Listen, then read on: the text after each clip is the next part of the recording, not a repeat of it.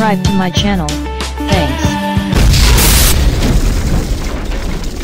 Cairo celebrating an open-air mass in front of thousands of Egyptians on Saturday, Pope Francis delivered a message of religious tolerance, telling the crowd the only acceptable kind of fanaticism is that of charity.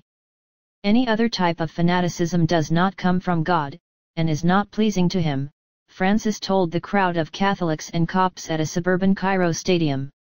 True faith is one that makes us more charitable, more merciful, more honest, and more humane. It moves our hearts to love everyone without counting the cost, without distinction and without preference.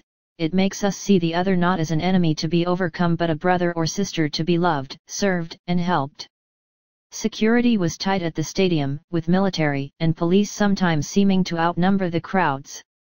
Two Egyptian Air Force Apache helicopters circled the area, cars were checked for explosives and attendees were only allowed to enter with a pass from the Egyptian Homeland Security Agency.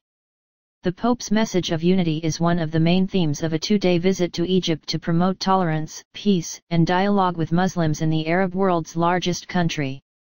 The visit comes after Coptic Christian churches were bombed on Palm Sunday, killing at least 44 people and injuring scores more.